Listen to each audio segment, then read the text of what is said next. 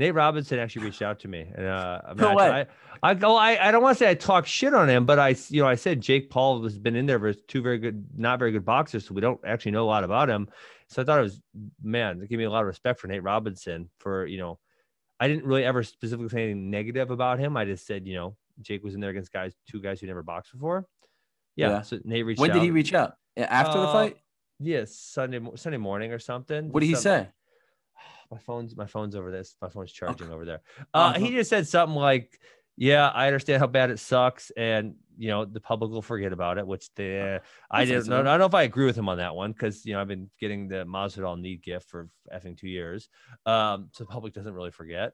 Uh, and that hey, as long as you have good people around you, your, your life's gonna go on. And I to that part I agree with. You know, I like I keep telling you, I love what I do for a living, and I have my I love my wife, and I have some awesome kids, and we had a great day yesterday.